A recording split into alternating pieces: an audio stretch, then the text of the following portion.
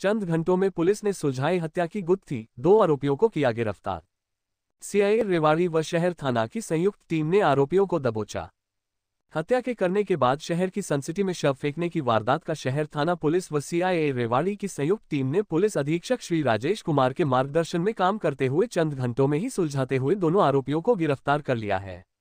गिरफ़्तार किए गए आरोपियों की पहचान मोहल्ला शुक्रपुरा निवासी भूपेंद्र उर्फ़ काका पुत्र सुमेर हलवाई और संघी का बास निवासी विशाल उर्फ़ कालू के रूप में हुई है।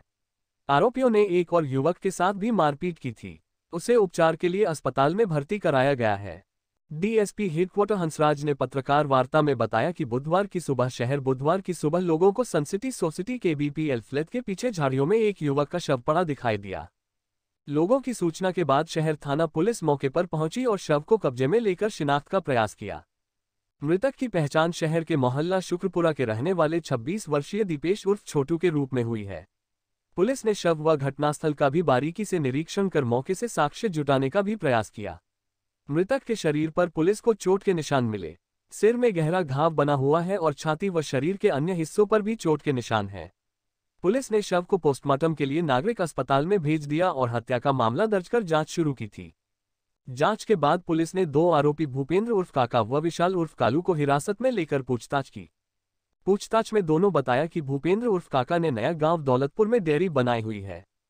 मंगलवार की शाम करीब साढ़े आठ बजे भूपेंद्र व विशाल टेंपो में गाय लेकर डेयरी पर गए थे।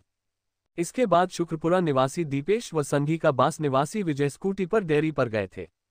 वहाँ चारों ने बैठकर शराब पी। उसके बाद किसी बात को लेकर विशाल व भूपेंद्र ने पहले विजय के साथ मारपीट की।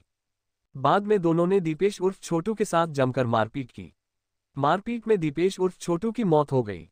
मौत होने के बाद रात करीब ढाई बजे दोनों ने स्कूटी पर शव रखकर सनसिटी में बीपीएल फ्लैट के पीछे फेंक दिया। शव फेंकने के बाद विशाल अपने घर जाकर सो गया और भूपेंद्र ने डेयरी पर खून के निशान व कपड़ों को साफ़ कर दिया। मारपीट में घायल विजय अभी अस्पताल में भर्ती है। मामले में उसकी भूमिका की भी जाँच की जा रही है। गिरफ़्तार किए गए दानों आरोपी अपराधी प्रवृत्ति के हैं तथा इनके खिलाफ पहले भी आपराधिक मामले दर्ज हैं। तो सर आज जो प्रेस कॉन्फ्रेंस है तो उसमें क्या पूरा मामले हैं? दो मामलों को लेकर जहाँ तक हमारी जानकारी है तो प्रेस कॉन्फ्रेंस तो हमारा मामला थाना शहर रेवाड़ी का है। थाना शहर रेवाड़ी के सुबह एस साहब को सूचना मिली है डेड बॉडी डाली हुई इस संबंध में एस ने तो कार्रवाई करते हुए सही है डाल दी और उन्होंने उस पर एफ़ आई आर दर्ज करके और आरोपियों का पता लगाने के प्रयास किए प्रयास सक्सेस हुए और दो आदमियों को पकड़ लिया। उसके कुछ टोटल चार आदमी थे, चारों में से एक की डेथ हो गई, एक अभी एडमिट दो जो मारने वाले थे, वो दोनों राउंड अप कर मामला इनका ये था कि रात को ये इकट्ठे बैठे थे कहीं, बैठ के इन्होंने चाय पी है पीने के बाद इनके किसी बात को लेकर विवाद हुआ वो अभी मैटर इन्वेस्टिगेशन में है। जैसे इन्वेस्टिगेशन पूरी होगी तो सारे तथ्य सामने आ जाएँगे।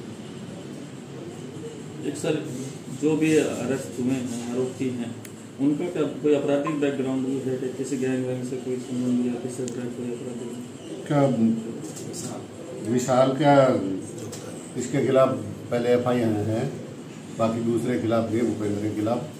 और ये शायद जोटा गैंग से संबंधित बता रहे हैं। और